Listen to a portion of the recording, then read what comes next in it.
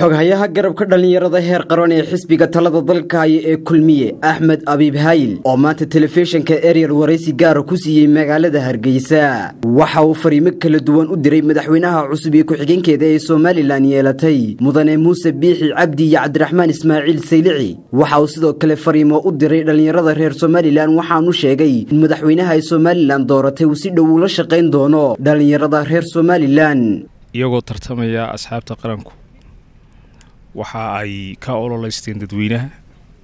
Dadweynuhuna way codeeyeen codkoogiina waxay ku go'aamiyeen isbeddel masiiriya waxay doorteen madaxweyne iyo madaxweyne ku-xigeen marka koowaad waxaan hambaliyo iyo bogaadin halkan u marinayaa dadweynaha somalilan oo ah ummadayda aan ka soo jeedo.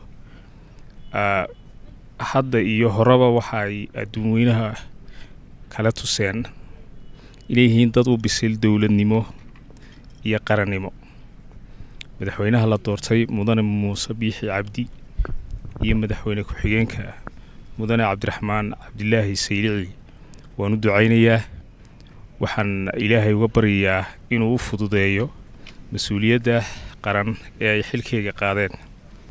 Waxaan ugu baaqayaa dhallinyarada.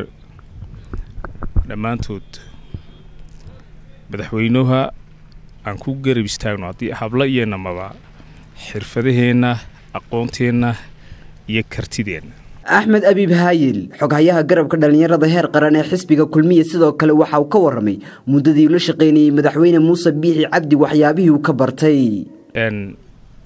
Horta madaxweynaha somalilan mudane muuse biixi cabdi aada buu u necab yahay ammaanta waxa uu jecel yahay mar walba wixii dhaliiluu leeyahay inaad u tilmaamto ee aad ku dhammaystirayso.